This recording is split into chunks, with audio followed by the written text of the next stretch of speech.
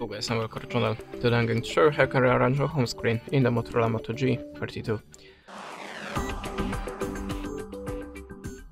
So if you want to open the home screen, just hold the finger on the empty place on your screen. And now we can go to the personalize. And we have a few options to edit. The first one, layout.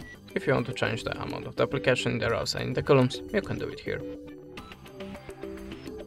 Now the fonts. Pick your top favorite one and click on the accept icon. Now the colors. This is the system accents. You can choose your new one from here or just tap on the color palette.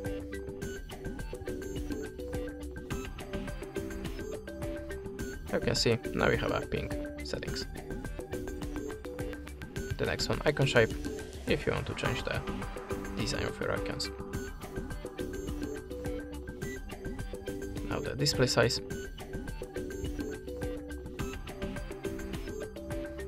The font size. And system theme.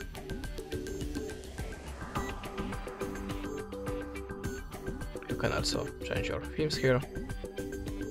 Just select your favorite one.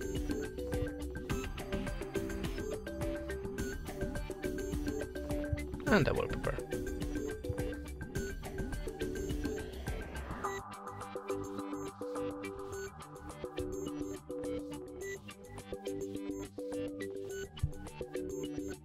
Like this one. Now click on the accept icon and choose place for your new wallpaper. And this is how it works. Thanks for watching, leave us a subscribe, a comment, and goodbye.